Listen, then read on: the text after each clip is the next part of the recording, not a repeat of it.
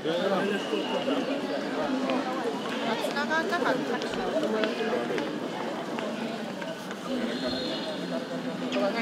Uh, Alhamdulillah saya telah selamat sampai dan lepas daripada immigration eh dan juga uh, tidak ada pen- penahanan buat takat ini.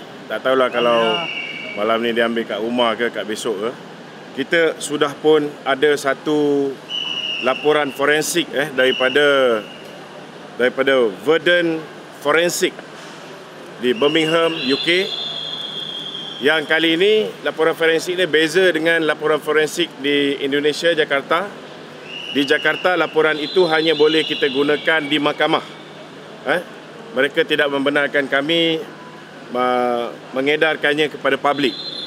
Tetapi laporan forensik daripada UK ini dia membenarkan kita untuk mendedahkan isi kandung laporan ini kepada umum dan mereka bersedia pada bila-bila masa untuk masuk mahkamah dan mempertahankan dapatan mereka. Okey. Dapatan daripada Verdun Forensik ini, okey. Uh, mereka kita berikan empat video seks luar tabii dan keempat-empat video ini dikatakan inconsistent with the original. Maksud dia video itu bukan video original yang dirakam daripada perakam. Maksud dia saya bukan orang yang terlibat dalam merakam video tersebut. Video yang saya serahkan kepada mereka, empat video ini adalah empat video yang saya perolehi daripada grup WhatsApp. Dapatan daripada keempat-empat video ini, mereka mendapati empat video yang tular itu tuan-tuan tidak ada kesan dimanipulasi ataupun diedit. Eh, ha, ini kena jelas eh. Tidak ada kesan dimanipulasi atau diedit. Sama seperti dapatan yang diperolehi oleh pihak pakar forensik daripada Cyber Security Malaysia seperti mana yang dimaklumkan oleh IGP. Eh. Okey.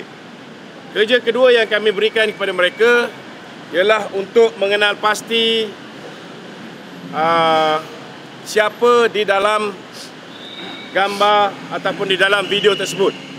Jadi mereka mengatakan bahawa di dalam gambar Azmin tidak ada sebarang perkara yang tidak sama dengan apa yang terdapat di dalam video tersebut. Sebab mereka tak boleh sebut itu Azmin Ali. Mereka hanya boleh sebut ianya sepadan dengan gambar yang kami bekalkan. So kita nak tanya dengan IGP adakah dia tidak membekalkan gambar kepada uh, cyber security ataupun cyber security dibekalkan gambar tetapi mereka tidak boleh mengecam Azmin Ali 100% tetapi mungkin 93%, mungkin 80%, 88% itu adalah Azmin. Saya hairan kenapa hari ini sudah lebih 2 bulan Datuk Hamid Bado masih gagal untuk menyerahkan dokumen siasatan sepenuhnya kepada pihak uh, AG.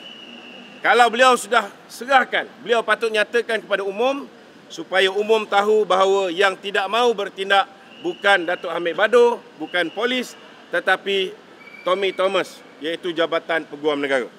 Dan saya telah pun membuat laporan polis ke atas diri beliau. Saya telah membuat laporan polis ke atas AG kerana melindungi penjenayah. Dokumen ini telah sampai di tangan peguam saya. Dokumen ini akan digunakan oleh peguam saya Fazila and Logan untuk mendesak supaya AG mengambil tindakan kepada Wabi Azmin Ali. Sekiranya AG tidak mengambil tindakan ataupun mendakwa Azmin Ali, maka kita akan terus saman AG dan kita juga akan terus saman IGP.